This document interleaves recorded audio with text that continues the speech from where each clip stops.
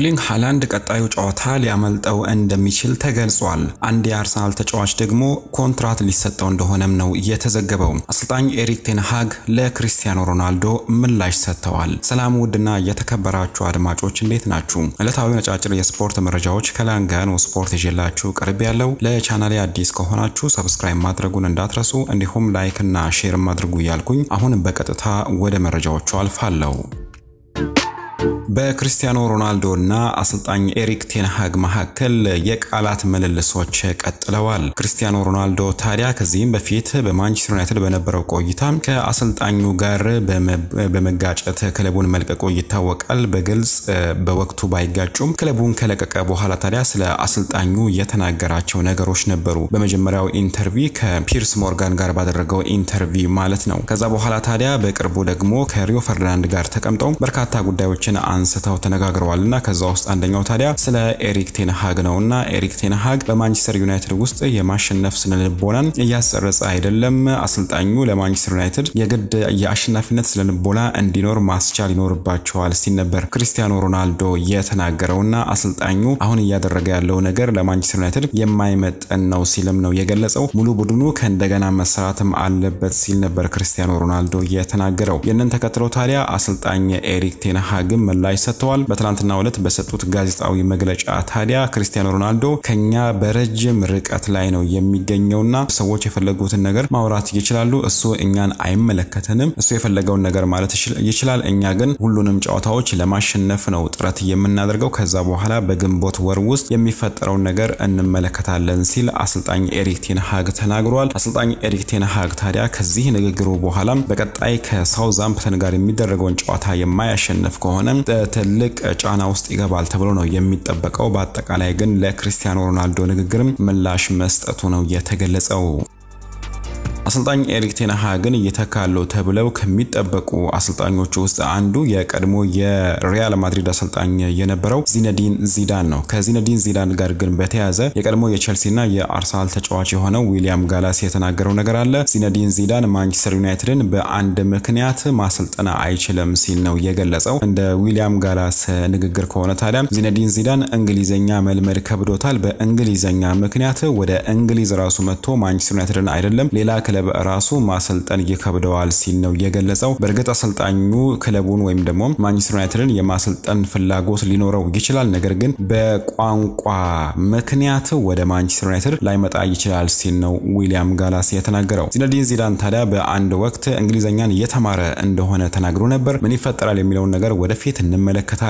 ዊሊያም ጋላስ ግን በቋንቋ ምክንያት አሰልጣኙ ወደ ማንቸስተር ዩናይትድ ላይመጣ ይችላል ሲል ነው የገለጸው። አሰልጣኝ ኤሪክ ቴንሃግ ከቀጣዩ ጨዋታ ጋር በተያያዘ ታዲያ ጋዜጣዊ መግለጫ ሰጥተዋል እና ከጉዳት ጋር በተያያዘ በጉዳት ላይ የሚገኙ ተጫዋቾች አሁንም እንደዛው በጉዳታቸው እንደሚቆዩ ነው የተገለጸው። ማኑኤል ኡጋርቴ ግን በዚህ ጨዋታ ላይ ሊሳተፍ እንደሚችል ፍንጭ ሰጥተዋል። ተጫዋቹን ባለፉት ሁለት ጨዋታ ተመልክታችሁታል። ተጫዋቹ መጫወት ችሏል። ስለዚህ አሁን ለቀጣዩ ጨዋታ ዝግጁ ነው ሲሉ ነው አሰልጣኝ ኤሪክ ቴንሃግ የተናገሩት። ከማኑኤል ኡጋርቴ መሰለፍ ጋር በተያያዘ በተረፈም ታዲያ ከካዘሜሮ የቅርብ ጊዜ ብቃት ጋር በተያያዘ ካዘሜሮ በቀጣዩ ጨዋታ ላይ የማይሳተፍ ከሆነ በእሱና በክለቡ መካከል ያለው ግንኙነት ሊሻክር እንደሚችልም ነው እየተገለጸ የሚገኘው። ካዘሜሮ በቅርቡ እየተደረገ ያለውን ነገር በደስታ እንዳልተቀበለው ነው የተገለጸው። በተለይ በርካታ ትችቶች ናቸው እየተሰነዘሩበት የሚገኘውና ተጫዋቹ ትችቶቹን ተከትሎ በከፍተኛ ደረጃ ማኩረፉም ነው እየተገለጸ የሚገኘው። ስለዚህ በቀጣይ ጨዋታ ላይ የመሰለፍ እድል የማያገኝ ከሆነ በእሱና በክለቡ መካከል ያለው ግንኙነት የባሰ ሆኖ እየሻከረ ሊጓዝ እንደሚችል ነው የተገለጸው። ተጫዋቹም ታዲያ የክረምት የዝውውር መስኮትን ሳይጠብቅ ትክክለኛ የሆነ የዝውውር ጥያቄ የሚቀርብለት ከሆነ በክረምቱ ክለቡ ሊለቅ እንደሚችል ነው የተገለጸው።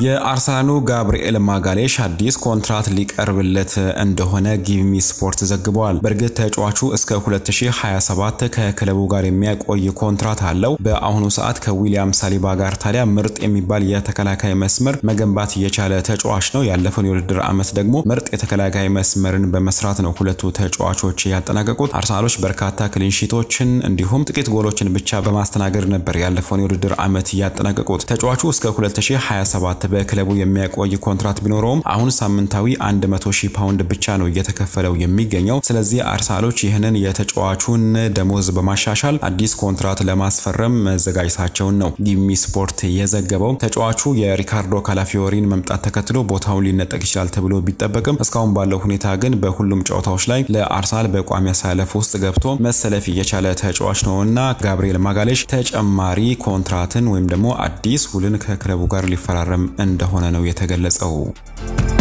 አርሰናሎች በተጠናቀቀው የክረምት የዝውውር መስኮት 92 ሚሊዮን ፓውንድ ገደማ ወጪ በማድረግ አምስት ተጫዋቾችን ወደ ክለቡ አምጥተዋል። ራሂም ስተርሊንግ በውሰት ውል ነው ወደ ክለቡ የመጣው። ለሌሎቹ ግን ገንዘብ በመክፈል ወደ 92 ሚሊዮን ፓውንድ ወጪ በማድረግ ማለት ነው ወደ ክለቡ ተጫዋቾቹን ማምጣት ችለዋል። ነገር ግን በርካቶች አሰልጣኝ ሚኬል አርቴታ የአጥቂ መስመር ተጫዋች ባለማስፈረሙ ደስተኞች አይደሉምና ይሁንና ካይ ሃቨርትዝ የውድድር ዓመቱን በጥሩ ሁኔታ ጀምረዋል። የጋብሪኤል ጄሱስ ጥሩ ብቃት ላይ አለመገኘት እንዲሁም ኤዲ ንኬቲያ መሸጡ ደግሞ በርካቶችን አሳስቧቸዋልና አሰልጣኝ ሚኬል አርቴታም ታዲያ ይህ ነገር ወደፊት ሊጎዳቸው እንደሚችል ነው ያመነው። ዘ ታይምስ ይዞት የወጣው መረጃ እንደሚያመላክተው ከሆነ ታዲያ አሰልጣኝ ሚኬል አርቴታ የዘንድሮን የውድድር ዓመት የሚጓዝበትን መንገድ ከተመለከተ በኋላ በቀጣዩ ክረምት አዲስ የአጥቂ መስመር ተጫዋች ለማስፈረም ሙከራ እንደሚያደርግ ነው የተገለጸው። እንደ ዘ ዘገባ ከሆነ አሰልጣኝ ሚኬል አርቴታ ለቀጣዩ ክረምት ሁለት ቦታዎች ላይ ትኩረት ሰጥቶ ይሰራል ሲል ነው የገለጸው። የአጥቂ መስመር ተጫዋችና የክንፍ ተጫዋች ነው ሲል ነው የገለጸው። ዘንድሮ ለማስፈረም ሙከራ አድርገው ያልተሳካለትን ቤንጃሚን ሼሽኮንና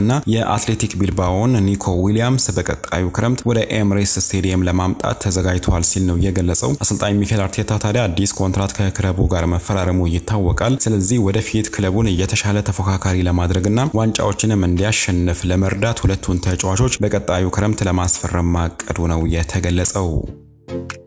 የሞሐመድ ሳላ ወኪል የሆነው ራሚ አባስ በቅርቡ በማህበራዊ ሚዲያዎችም ላይ ሆነ በተለያዩ ታላላቅ ሚዲያዎች ላይ እየተከናወነ ያለውን ነገር ተችቷል። ከደንበኛ ወይም ደግሞ ከሞሐመድ ሳላ ጋር በተያያዘ ታዲያ በየቀኑ ነው መረጃዎች ሲወጡ የነበሩትና ሞሐመድ ሳላ ሊለቅ ይችላል፣ ሞሐመድ ሳላ ሊቆይ ይችላል፣ አዲስ ኮንትራት ለመፈራረም ዝግጁ ነው የሚሉ በርካታ እና የተለያዩ አይነት መረጃዎች ነበሩ በሚዲያዎች ሲለቀቁ የነበሩትና ይህንን ተከትሎ ታዲያ የተጫዋቹ ወኪል ራሚ አባስ በቀድሞ ትዊተር በአሁኑ ኤክስ ላይ ታዲያም ጋዜጠኞች የፈለጉትን ነገር ያወራሉ፣ ነገር ግን ምንም አይነት ነገር ሳያገኙ ወይም ደግሞ ምንም አይነት ተጨባጭ መረጃን ሳያገኙ ነው እያወሩ የሚገኙት ሲል ነው በማህበራዊ ሚዲያ ላይ ጽሁፉን ያሰፈረው። ከሞሐመድ ሳላ ኮንትራት ጋር በተያያዘ ታዲያ አሁንም መረጃዎች በተለያየ አይነት መልኩ እየተለቀቁ ይገኛሉ። በአጠቃላይ ግን የተጫዋቹ ወኪል እየተለቀቁ ባሉት መረጃዎች ደስተኛ እንዳልሆነ ነው የገለጸው።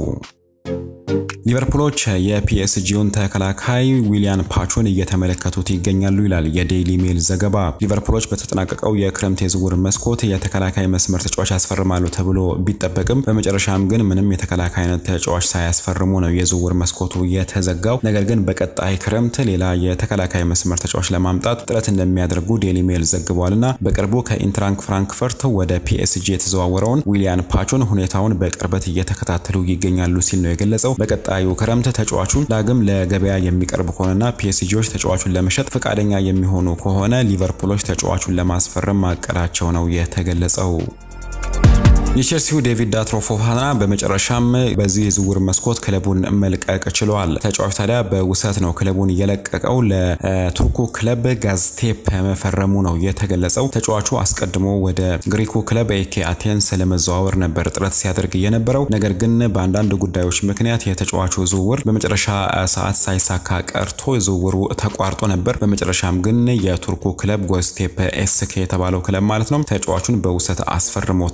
በቀጣይ ዓመት ታዲያ በቋሚነት የማስፈረም አማራጭ አለው። ነገር ግን ቼልሲዎች ደግሞ በጥር የዝውውር መስኮት ተጫዋቹን የመጥራት መብትም አላቸው። ከ January አንድ ጀምሮ ማለት ነው ተጫዋቹን ወደ ክለባቸው መመለስ ይችላሉ። ምናልባት በክለባቸው ውስጥ መጠቀም ከፈለጉ ወይንም ደግሞ ተጫዋቹን ለሌላ ክለብ መሸጥ የሚችሉበት አጋጣሚ የሚፈጠር ከሆነ ማለት ነው በጥር የዝውውር መስኮት ወደ ክለባቸው ሊጠሩት እንደሚችሉ የተገለጸው። በዚህም መሰረት ዴቪድ ዳትሮ ፎፋና በመጨረሻም ወደ ቱርኩ ክለብ ጎዝቴፕ ለመዘዋወር መስማማቱ ነው የተገለጸው። ሊቨርፑሎች የባየር ሙኒኩን አማካይ ጀማል ሙሲያላን ለማስፈረም የሚደረገውን ፉክክር ተቀላቅለዋልና በቀጣይ ክረምትም የተቻላቸውን በሙሉ በማድረግ ተጫዋቹን ወደ ክለባቸው ለማምጣት ጥረት ያደርጋሉ ሲል ኮት ኦፍሳይድ ዘግበዋል። አሁን ላይ ባለው ሁኔታ ተጫዋቹ በባየር ሙኒክ የመቆየት እድሉ ሰፊ እንደሆነ ነው እየተገለጸ የሚገኘው። ባየር ሙኒኮችም ታዲያ ተጫዋቹን አዲስ ኮንትራት አስፈርመው በክለባቸው ማቆየት ይፈልጋሉ። ይሁንና ማንቸስተር ሲቲ፣ ሪያል ማድሪድ እና ፒኤስጂ ተጫዋቹን በቅርበት እየተከታተሉ የሚገኙ ክለቦች ሲሆኑ ሊቨርፑሎችም ተጫዋቹን ለማስፈረም የሚደረገውን ጥረት መቀላቀላቸውን የተገለጸውና በቀጣዩ ክረምት በተጫዋቹ ላይ ሊፎካከሩ እንደሚችሉ የተገለጸው። ይህ የሚሆነው ታዲያ ተጫዋቹ አዲስ ኮንትራት ከክለቡ ጋር የማይፈራረም ከሆነ እንደሆነ ነው ኮት ኦፍሳይድ የዘገበው። የፒኤስጂ ንብረት የሆነውና በአሁኑ ሰዓት ለአርቢ ላይፕዚግ እየተጫወተ የሚገኘው ዣቪ ሳይመንስ ወደ ፕሪሚየር ሊጉ መዘዋወር እንደሚፈልግ አስታውቀዋል። ተጫዋቹ ታዲያ በተደጋጋሚ ስሙ ከአርሰናልና ከማንቸስተር ዩናይትድ ጋር የተነሳበት አጋጣሚ አለ። ነገር ግን አርቢ ላይፕዚግ እና ሌላኛው የጀርመን ክለብ የሆነው ባየር ሙኒክም ተጫዋቹን በቀጣዩ ክረምት በቋሚነት ማስፈረም እንደሚፈልጉ ነው የተገለጸው። ተጫዋቹ ግን ወደ ፕሪሚየር ሊጉ ተዘዋውሮ መጫወት ይፈልጋል ሲል ቲም ቶክ ዘግቧል።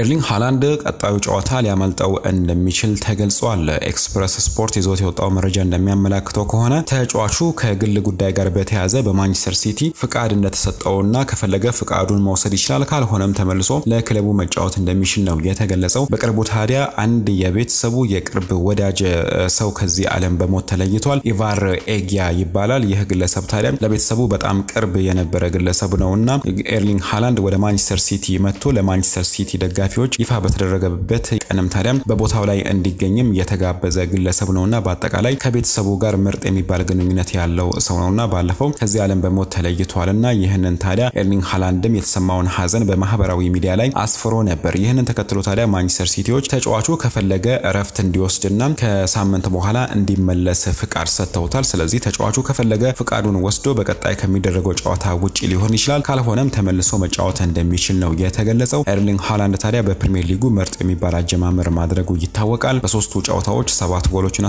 አስቆጥሯል። በሁለቱ በተከታታይ ሃትሪክ መስራት የቻለ ተጫዋች ነው። አሁን ግን ክለቡ ከፈለገ በቀጣዩ ጨዋታ ላይ እረፍት እንዲወስድ ፍቃድ ሰጥቶታል። ሪያል ማድሪዶች ከጉዳት ጋር በተያያዘ መልካም ዜናዎችን በማግኘት ላይ ይገኛሉ። ጁድ ቤሊንግሃምን ጨምሮ ሶስት ተጫዋቾች ወደ ልምምድ መመለሳቸው ነው የተገለጸው። ዲያሪዮ አስ ይዞት የወጣው መረጃ እንደሚያመላክተው ከሆነ ጁድ ቤሊንግሃም፣ ኦሬሊየን ሾሚኒ እና ኤደር ሚሊታሆ ወደ ልምምድ የተመለሱ ተጫዋቾች ናቸው። ነገር ግን ሪያል ማድሪዶች በቀጥታ በቋሚ አሰላለፍ ውስጥ ያስገቧቸዋል ተብሎ አይጠበቅም። ወደ መጨረሻ አካባቢ የተወሰኑ ደቂቃዎችን በመስጠት ተጫዋቾችን ሊያጫውቱ እንደሚችሉ የተገለጸው ሪያል ማድሪዶች ገና የውድድር ዓመቱ ከመጀመሩ በርካታ ተጫዋቾችን በጉዳት ምክንያት አጥተው ነበር። ነገር ግን አሁን ሶስቱ ተጫዋቾች ጁድ ቤሊንግሃም እንዲሁም ኤደር ሚሊታው እና ኦሬሊየን ሾሚኒ ወደ ልምምድ መመለሳቸው ነው የተገለጸው። ከኒኮ ዊሊያምስ ጋር በተያያዘ ታዲያ አዳዲስ መረጃዎች እየተወሩ ይገኛሉ። በእርግጥ አዲስ መረጃ አይደለም። ተጫዋቹ እዛው በክለቡ መቆየት ፈልጓልና በዚህም ምክንያት ነበር ዝውውሩ ሳይሳካ የቀረው። ፋብሪዚዮ ሮማኖ ታዲያ ከተጫዋቹ ቆይታ ጋር በተያያዘ አንዲት ቃል ላይ ትኩረት አድርጎ ሲናገር ነበር። እሷም ታዲያ ለአንድ ዓመት ብቻ የምትል ቃል ናትና ተጫዋቹ ዘንድሮን ለአንድ ዓመት ከአትሌቲክ ቢልባው ጋር መቆየት ስለፈለገ ከባርሴሎናም ሆነ ከሌላ ክለብ የቀረበለትን ጥያቄ አልተቀበለም ሲል ነው የገለጸው። ስለዚህ ዘንድሮን ብቻ የ2024-25 የውድድር ዓመትን ብቻ ተጫዋቹ ከአትሌቲክ ቢልባኦ ጋር ይቆያል ማለት ነው። ከዛ በኋላ በቀጣዩ ዓመት ደግሞ ወደሚፈልገው ክለብ ወይም ደግሞ ወደ ሌላ ክለብ ይዘዋወራል ተብሎ ነው የሚጠበቀው። በዚህም ምክንያት የተጫዋቹ ዝውውር ባለፈው የክረምት የዝውውር መስኮት እንዳልተሳካ ነው የተዘገበው። ከተጫዋቹ ጋር በተያያዘ ታዲያ የባርሴሎና ተጫዋች የሆነው ላሚን ያማል በየቀኑ ከኒኮ ዊሊያምስ ጋር መጫወት እፈልጋለሁ ሲል ነው የገለጸው። እሱ ጓደኛዬ ነውና ከእሱ ጋር መጫወት እፈልጋለሁ፣ ነገር ግን በመጨረሻም ውሳኔው የሱ ነውና በቀጣዩ ወደ ባርሳ ይመጣ ይሆን የሚለውን ነገር አብረን እንመለከታለን። ነገር ግን በየሳምንቱ ከእሱ ጋር መጫወትን እፈልጋለሁ ሲል ላሚን ያማል ተናግረዋል። በቀጣይ ዓመት ታዲያ ባርሳዎች የሚሰሩትን ነገር እንጠብቃለን። ላሚን ያማል ከኒኮ ዊሊያምስ ጋር መጫወት እንደሚፈልግ ነው የገለጸው።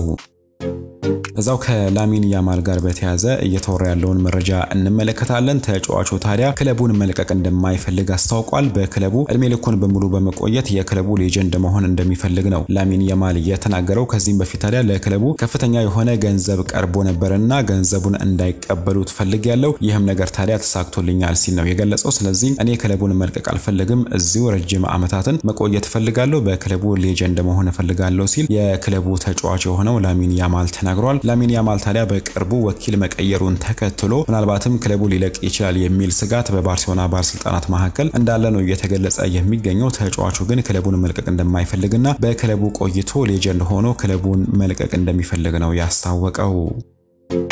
አድማጮች ከዝውውር ጋር በተያያዘ ይህን ያህል የአውሮፓ ሊጎች ከዛሬ ጀምረው የሚቀጥሉ ነው የሚሆነው። የአውሮፓ ሊጎች ታዲያ ዛሬ ሲቀጥሉ በስፔን ላሊጋ ሪያል ቤቲስ ከሌጋኔስ ጋር በሚያደርጉት ጨዋታ ዛሬ የስፔን ላሊጋ የሚጀምር ይሆናል። ይህ ታዲያ ምሽት አራት ሰዓት ላይ የሚደረግ ጨዋታ ነው። በጀርመን ቡንደስሊጋ ደግሞ ምሽት 3 ሰዓት ከ30 ላይ ቦሩሲያ ዶርትሙንድ ከሄደንሄም ጋር ጨዋታቸውን የሚያደርጉ ይሆናል። በፈረንሳይ ሊግ አንድ ደግሞ ምሽት 3 ሰዓት ከ45 ላይ ሴንት ኢቴን ከሊል ጋር ጨዋታቸውን የሚያደርጉ ነው የሚሆነው። በተረፈ በሳውዲ ፕሮ ታዲያ ዛሬ ተጠባቂ ጨዋታ ይደረጋል። አልታውን ከአልካሊጅ እንዲሁም ዳማ ከአልከዱድ ጋር ጨዋታቸውን የሚያደርጉት ሲሆን ምሽት 3 ሰዓት ላይ አልናስር ከአልአህሊ ጋር የሚያደርጉት ጨዋታ ይጠበቃል። ምሽት 3 ሰዓት ላይ የሚደረግ ጨዋታ ነውና ይህን ጨዋታ እንድትከታተሉ ትጋብዛችኋለሁ።